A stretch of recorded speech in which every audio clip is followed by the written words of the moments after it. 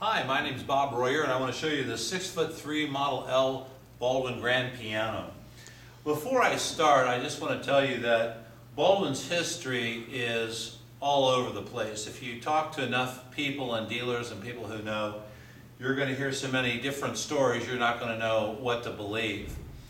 Um, First of all, the piano company went under in 2001. It was bought by the Gibson Guitar Company, and now they're made in China. Um, Some for the goods, what- whatever, whatever you think of China, that's fine.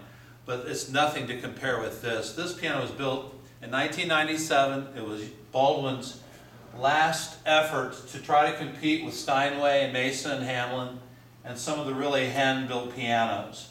And they really put a lot of money into it. The people who bought these Baldwin Grands in the last era of the 1990s paid dearly for it. I mean, these cost the dealer more than $20,000. This is beautiful mahogany.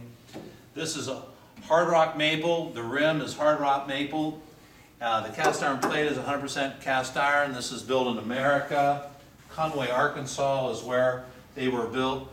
This is in pristine condition. The gentleman, the family who bought this piano, um, had to move. Uh, they got transferred and all that here in uh, Cincinnati, Ohio. And at any rate, it is just absolutely in perfect condition. Here's an artist bench that goes with it.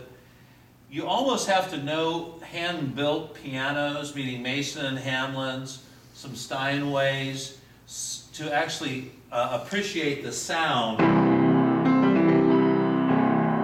There's a, a real feel and a sound towards these hand-built pianos. This piano does have that. So if you're one of the few that have the knowledge of some hand-built pianos like Chickering and Knabe years ago, or the real true Baldwins and Steinways, this is a real big find. Um, I'm very picky on getting secondhand pianos, and this is in perfect condition. And here's Greg that's going to show you how great this piano sounds.